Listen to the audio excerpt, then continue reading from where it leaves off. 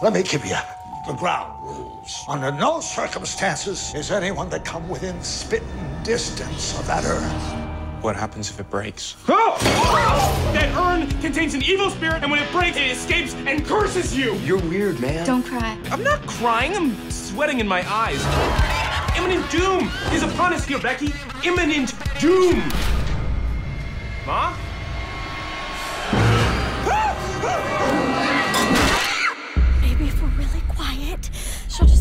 Go back to sleep.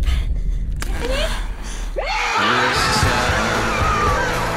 Whoever we make eye contact with is going to kill themselves. Come back as zombie demons and try and kill us. Everybody grab a weapon.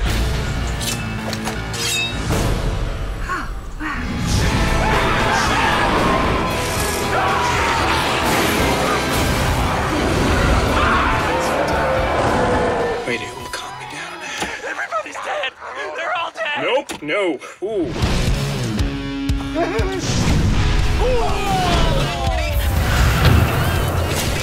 I'm going in.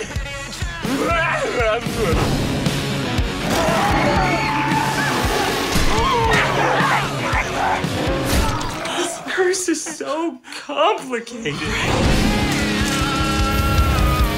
Oh my god, this is so gross!